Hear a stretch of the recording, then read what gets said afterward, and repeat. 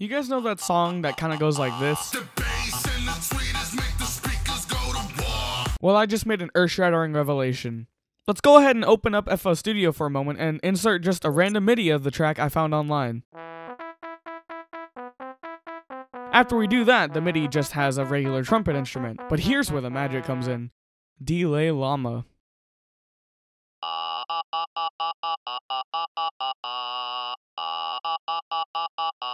Yeah, now you see where I'm going. We take this, render it out as a wave, and switch over to Ableton. We do this because I feel more comfortable in Ableton, but the Delay Lama plugin isn't supported there. Now we just import that Delay Lama sample into Ableton. We also need to import an MP3 of the actual Timmy Trumpet track, which I actually had on hand since I've used this in a mashup before. Once we line them up, things become clear.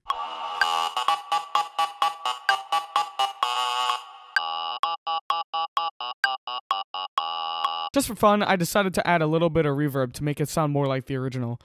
I didn't really spend too much time on it, as this isn't for a mashup or anything, I just wanted to do it. And here's what it sounds like.